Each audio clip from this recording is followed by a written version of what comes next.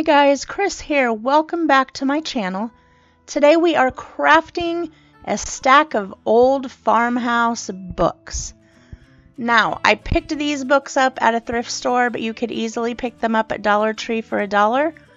The top book is actually a box that looks like a book, and I liked that because it lessened the weight of the stack, which I wanted to put on top of my DVD player to kind of hide it. So I used chalk paint and I got the covers painted. This did not um, jeopardize or alter the fact that the book could be read at some point. But I just wanted to use my white chalk paint and get these looking old. I just did one thick coat and then I set them under the ceiling fan. But I also didn't mind that some of the color from underneath showed through.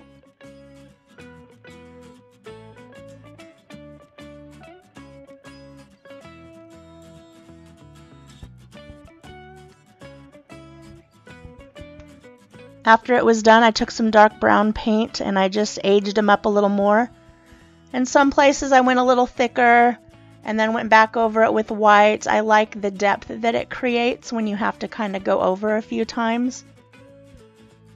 And I wanted the pages to look like, you know, they had been read a lot and maybe some coffee spilled on them or tea and they had been well loved and they were in an attic for years and the attic leaked in the roof and it got them all wet and you get my picture?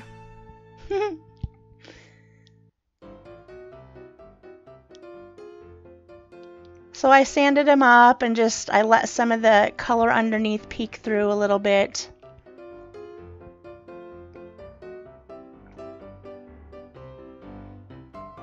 I then got out all my black letters to decide what I wanted and as it turns out I went with this softer like a gray um, and I really like how it turned out. So I just picked three words that I wanted to put on them. I used family, faith, and Hope, I believe.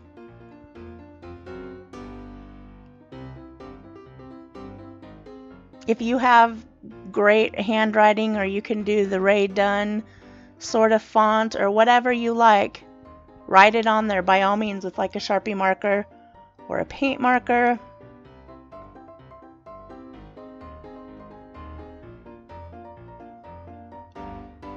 Whatever kind of font you like or Again, at the Dollar Tree, you can find letters all the time.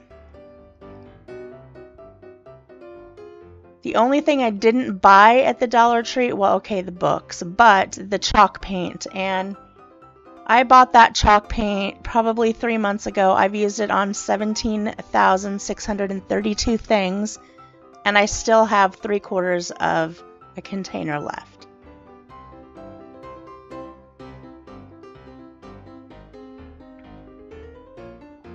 I'm sorry I had to pull that out of frame. With my vision, I had to pull it close to my eyes so that I could see better.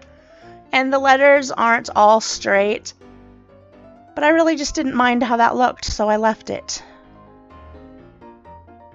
When you can't see well, you have to accept imperfections.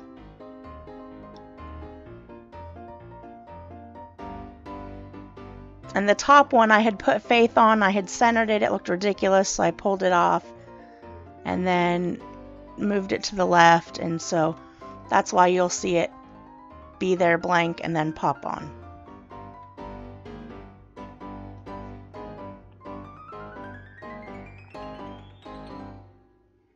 I like that that top book is thicker too. I get a little bit more height out of it. I just took some ribbon I got at Dollar Tree. I love polka dots. I am a freaky about polka dots. And I just tied it together like a little bundle of books. I cut the ends how I wanted them, and I love how it turned out. I hope you give it a try. I hope you enjoy it. And until we meet again, do not forget to craft cool things. Bye, guys.